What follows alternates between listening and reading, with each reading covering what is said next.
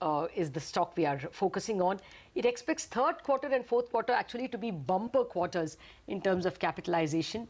Uh, that's what uh, IS Jha, the uh, chairman of the company, told CNBC TV 18's Kevin Lee when he caught up with him just a few hours ago. Let's listen in. Last year it was uh, our turnover was 430 crores.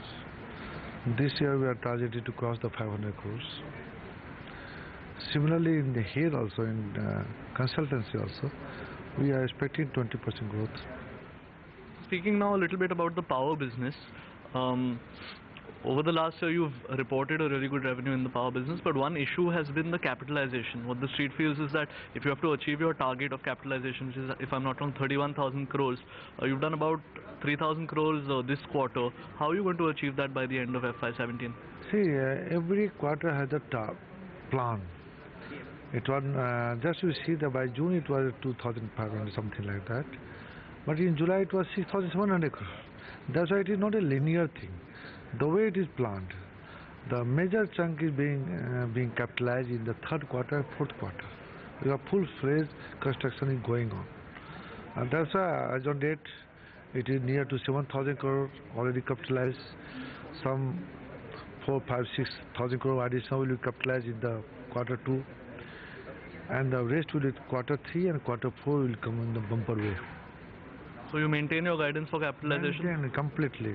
Uh, it will certainly be targeting about 28 to 30,000 crores. And uh, what about capex? How much have you achieved this quarter, and how much is left uh, to meet your plan? See, capex, as I mentioned, that it will be at similar level what we have done in the last year, near about 23,000 crores. And till July, we have already done 7,000 something crores. And balance sheet is on track. Sir, any update from the government on the CTU status? We've been hearing about it for a year now, but has the government clarified on that removal of CTU status? By when can we expect an announcement? The proposal is going on. It will go. It is a long process. It will go to CTU, maybe cabinet approval, etc. This is a long process. It will take time. And can you throw some light on your order book uh, currently where it stands in the power segment?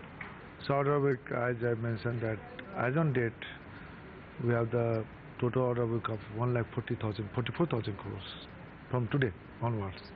In after the what we have capitalized 6,000 crores, 6,700 crores till after that still we have the 1 lakh 44,000 crores and we have to do the capex near about 1 lakh crores in next four years. Okay, that's